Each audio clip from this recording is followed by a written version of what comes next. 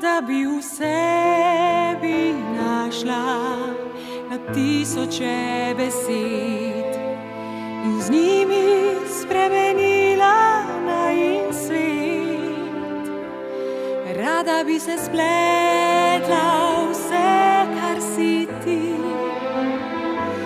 in srečo prepletla tvoje sledi. Rada bi sprehajala se skupaj s tabo.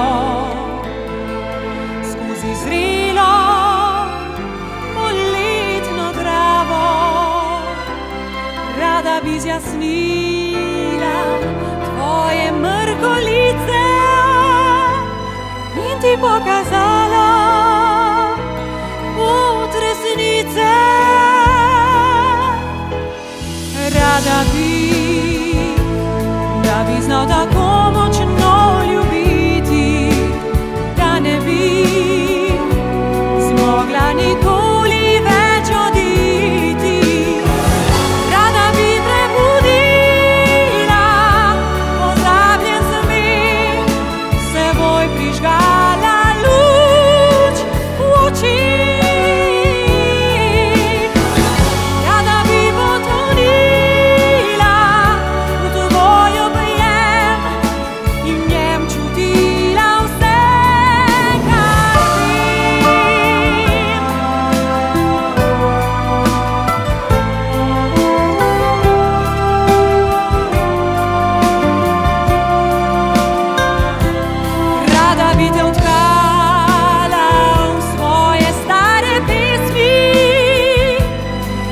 neprepozná.